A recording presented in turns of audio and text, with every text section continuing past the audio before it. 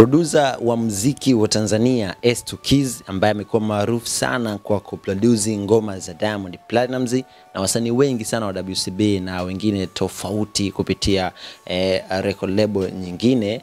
Usiku wa kuamkia leo amevamiwa na kufanyiwa uharibifu mkubwa katika studio yake. S2 Keys ameweza kuyaandika haya kupitia ukurasa wake wa Instagram na kusema hivi baada ya kuposti picha ambayo inagiza picha nyeusi.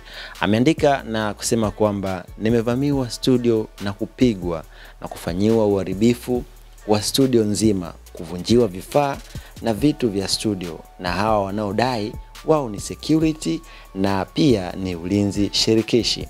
Akawatagi hapa ni Eka Security. Studio nilikuwa na watu ambao pia walipigwa kama wezi. Wanawake walizalilishwa ikiwemo kuvuliwa nguo, kupigwa, kufanyiwa vitendo vya kinyama. Akaweka emoji ya kulia sana. Nimesikitishwa sana na nimekatishwa sana tamaa.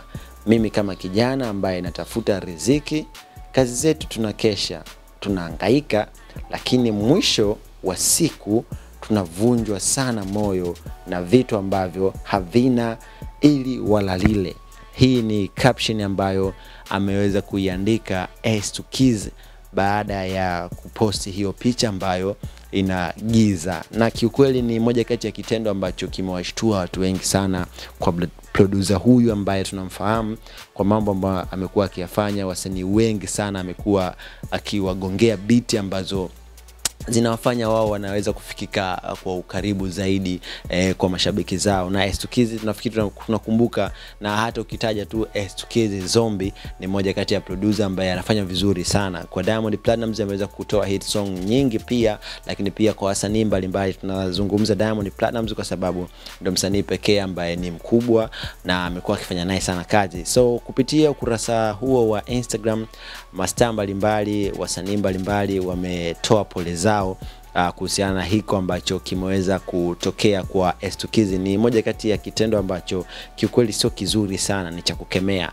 Hapa uh, ni wengi ambao wameweza kucomment akiwepo uh, Adam Chomvu, Mbosso, Lilomi na Queen Dalini na wengine wengi, na nitasoma tu kwa uchache kwa wale ambao wameweza kucomment hapa kwa S2 baada ya kuweza kuiona hii posti ambayo ameweza kuiposti uh, kwa kile ambacho kimeweza kumtokea na kiukweli kimewakatisha wengi na kimewasikitisha wengi tamaa, uh, kimewasikitisha wengi sana, kama vile ambavyo ame, ameweza kusema yeye mwenyewe kwamba kinamkatisha tamaa sana. Vitendo kama hivyo vinakatisha tamaa.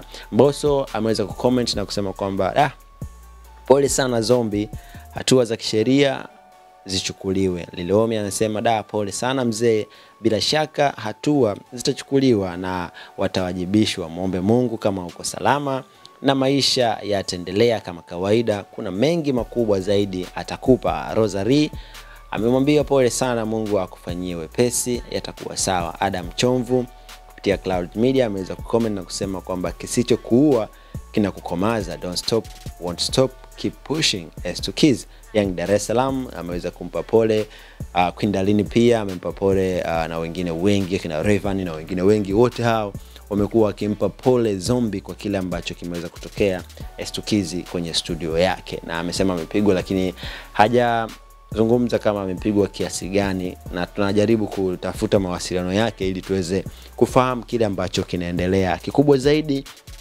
endelea kubaki na sisi hapa kwa kusubscribe, kwa sababu tutakuletea update ambazo uh, zitakuwa za uharaka zaidi kwa kile ambacho kitakuwa kimepatikana